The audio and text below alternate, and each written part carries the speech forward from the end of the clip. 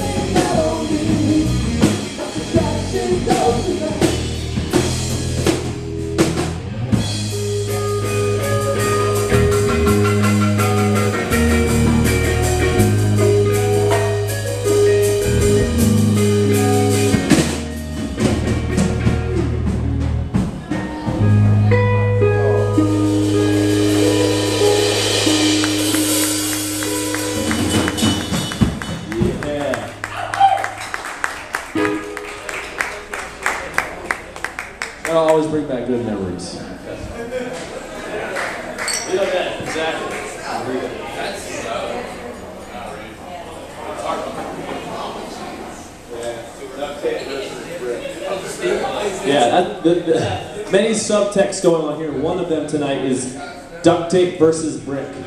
Who's gonna win? Brick. Uh, uh, Brick uh, uh, finds a way. Jeff Goldblum. That was Jeff Goldblum from Jurassic Park. Nature, uh, well, well, of course, finds a way. Yeah. And then he tells Laura Dern about chaos theory with the veins in his hand. It's such a sexy scene. She's, she's like, oh my god, I can't believe he's talking about Jurassic Park. Anyway, we got a, a new guy in the band and a couple new songs, and we're gonna play one of them right now. It's called Apples. Oh, after Sean.